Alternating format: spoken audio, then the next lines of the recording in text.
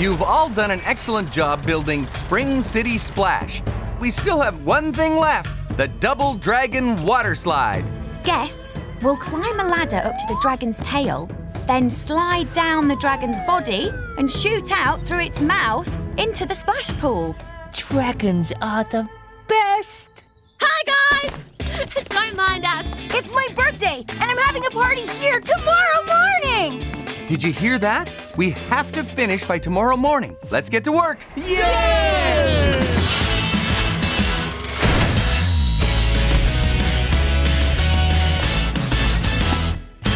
Let's see who's doing what job.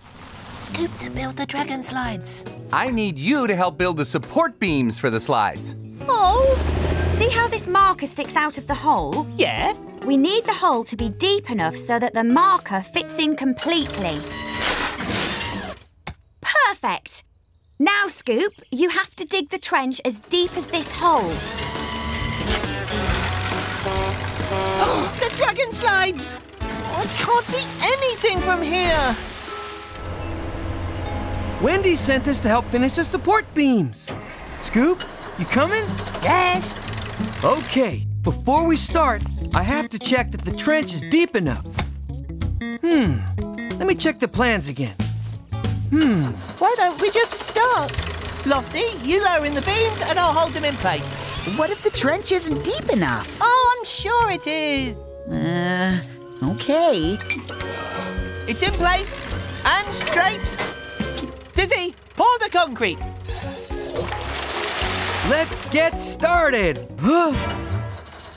Finished. Huh?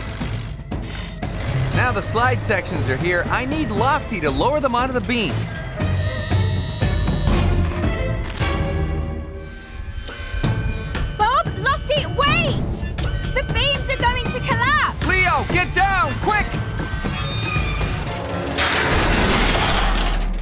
What happened? It's all my fault. I don't think I dug the trench deep enough. I know support beams don't sound as exciting as dragons, but They are just as important. But what are we going to do? I would work all night to fix this. and that's exactly what we're going to have to do, Scoop. So, team, can we fix it? Yes, we can!